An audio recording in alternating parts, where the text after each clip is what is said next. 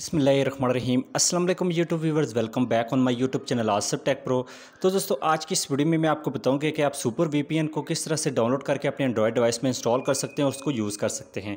जैसा कि आपको मालूम ही है कि वीपीएन को क्यों इस्तेमाल किया जाता है, ताकि सर्वर कनेक्शन को चेंज करके आप किसी भी वेबसाइट को इस्तेमाल कर सकते हैं, जिसको ब्लॉक किया जाता है आपकी कंट्री में। यानी आप कह सकते हैं कि ज़्यादातर अगर सिंपल तरीके से आपको समझाना चाहूँ तो अक्सर कंट्री में पबजी को बैन कर दिया गया है तो आप किसी भी वीपीएन का यूज़ करके उसको यूज़ करते हैं ताकि वो सर्वर कनेक्शन को चेंज कर ले। तो वैसे तो जो आम आप डेटा यूज़ करते हैं, वो आपका लोकल डेटा होता है, यानी कि आपकी कंट्री की ही लोकेशन बताता है। जब आप वीपीएन को एक्टिवेट कर लेते हैं तो वो किसी और कंट्री की लोकेशन वहाँ पर शो करता है, जिसकी वजह से आप किसी भी एप्लीकेशन वेबसाइट या फिर ऐप को आप एक्सेस कर पाते हैं। यहाँ पर आपने सबसे पहले ये करना है कि सुपर वीपीएन को यूज़ करने से पहले आपने डाउनलोड करके इंस्टॉल कर लेना। अब इंस्टॉल करने का तरीका मैं आपको बताता हूँ कि आपने सबसे पहले प्ले स्टोर को ओपन करना है और उसके बाद सर्च बार पर क्लिक करना है यहाँ पर आपने जस्ट टाइप करना है सुपर वीपीएन ठीक है?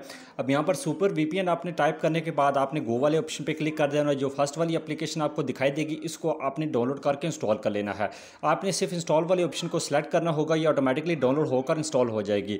अब इसकी डाउनलोडिंग देखी जाए तो हंड्रेड मिलियन प्लस का इसके रिव्यूज़ फोर है इसकी रेटिंग भी काफ़ी कमाल की है। अगर इस एप्लीकेशन के बारे में आप मजीद जानना चाहते हैं तो आप कॉमेंट सेक्शन में इस एप्लीकेशन के बारे में पढ़ सकते हैं। अब चलते हैं, अब आपको बताता हूँ इसको एक्टिवेट कैसे किया जा सकता है। अब यहाँ पर नोटिफिकेशन बार पे मैं आपको दिखा देता हूँ। यहाँ पर अभी मेरा जो स्क्रीन रिकॉर्डिंग है, वो अभी वर्क कर रहा है। अभी जो सुपर वीपीएन है, वो वर्क नहीं कर रहा। अब हम यहाँ पर सुपर वीपीएन को ओपन करेंगे तो हम इसके तमाम एक्सेस को, यानी कि कह सकते हैं परमिशंस को अलाउ कर देना है, ताकि वो एक्सेस कर सके।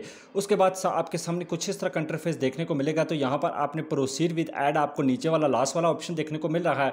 यहाँ पर क्लिक करना है। और क्लिक करने के बाद आपने कनेक्ट वाले ऑप्शन को सिलेक्ट कर देना। आपके सामने कुछ एक ऐड आएगा, इसको आपने क्लोज कर देना है, जो आपके वीपीएन है वो कनेक्ट होना स्टार्ट हो जाएगा ठीक है? ये देख सकते हैं हमारे जो वीपीएन है वो कनेक्ट हो चुका है। अब यहाँ पर मैं नोटिफिकेशन बार को से नीचे करूँ तो यहाँ पर दिखाएगा कि super V auto selected super VPN is on ठीक है? ये वर्क करना स्टार्ट हो चुका है ठीक है? अब मैं यहाँ पर फ़र्ज़ करें कि मैं किसी भी एक ब्राउज़र को ओपन कर लेता हूँ। ओपन करने के बाद यहाँ पर मैं आ, इस ऐड आएगा यहाँ पर यूसी का तो इसको मैं क्लोज़ कर दूँगा ठीक है? यहाँ से मैं जस्ट गूगल को ओपन करने की कोशिश करता हूँ और यहाँ पर मैं इसको रिमूव कर देता हूँ। ठीक है। अब ये हमारे सामने से किसी किस्म का मांग रहा है तो हम इसको रिमूव कर देते हैं। अब यहाँ पर लास्ट पर आप देख रहे होंगे कि यहाँ हमारे पास जो वी पी यहाँ पर बता रहा है, ये कह रहा है कि फ्रांस का यहाँ पर हमने कनेक्ट करके रखो यहाँ पर आपको नज़र आए तो ठीक है। ये वीपीएन इसने फ्रांस का जो सर्वर है वो कनेक्ट करके दिखाया है। अब फ़र्ज़ करके मैं डायरेक्टली बैक चला जाता हूँ और यहाँ से इस वीपीएन को टर्न ऑफ़ कर देता हूँ।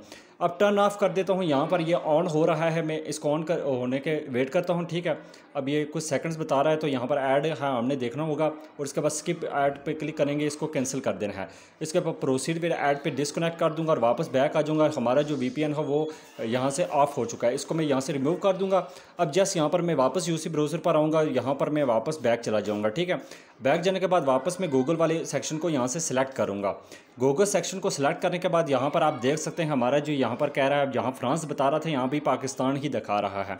तो दोस्तों, इस तरह से आप अपने वीपीएन को यूज़ कर सकते हैं, अपने एंड्रॉयड डिवाइस में और अपना सर्वर कनेक्शन को आप यानी कि चेंज कर सकते हैं।